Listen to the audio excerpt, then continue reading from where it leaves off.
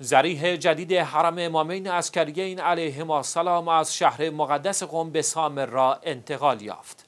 زریح تازه ساخت حرم متحر امامین عسکریین علیهما السلام که مدتی پیش اتمام مراحل ساخت آن در شهر مقدس قم اعلام شده بود به کشور عراق و شهر سامرا انتقال داده شد.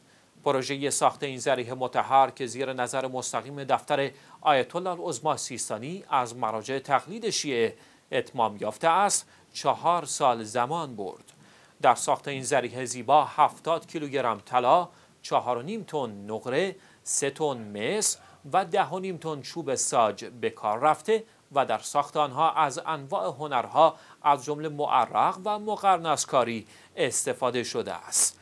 همچنین در کنار این زریح دوازده درب بزرگ طلایی چهار صندوق خاتم کاری شده و هزار متر فرش دست بافت مطابق با اندازه زریح متحر و حرم مقدس امامین عسکریین علیهما السلام آماده شده است.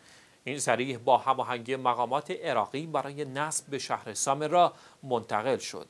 حرم امامین عسکریین علیهما السلام در سوم اسفند 1384 و 23 خرداد 1386 به ترتیب توسط 200 کیلو TNT و بمبگذاری در نقاط مختلف حرم تخریب شده بود. ولی اکنون با همت بلند شیعیان و محبین اهل بیت علیهم السلام بازسازی این حرم متحر در حال اتمام است.